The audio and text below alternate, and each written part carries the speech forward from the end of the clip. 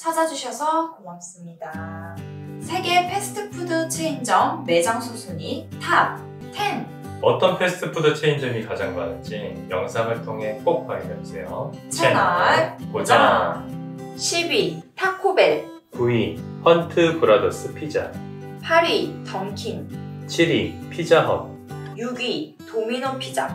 5위 버거킹. 4위 KFC 3위 스타벅스 2위 서브웨이 1위 맥도날드 상위 10개의 프랜차이즈 모두 미국 브랜드라고 하네요. 순위권 안에 익숙한 브랜드도 있는데 네. 처음 보는 브랜드도 맞아. 있네 헌트 피자. 피자, 피자 어. 맞아.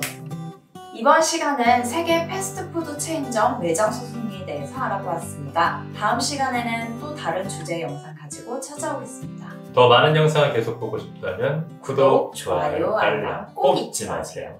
지금까지 시청해주셔서 고맙습니다.